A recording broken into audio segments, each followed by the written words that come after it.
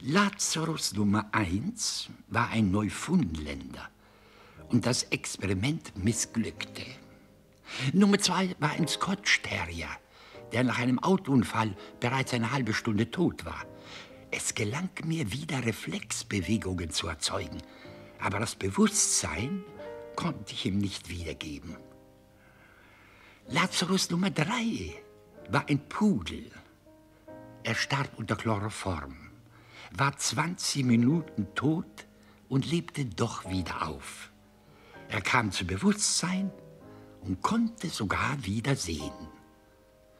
Aber es dauerte nur eine knappe halbe Stunde.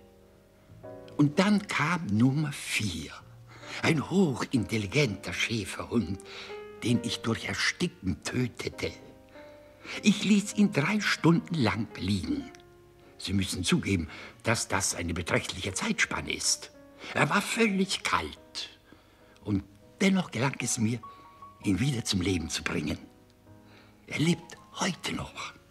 Er frisst, säuft, schläft, kann sehen, riechen, hören.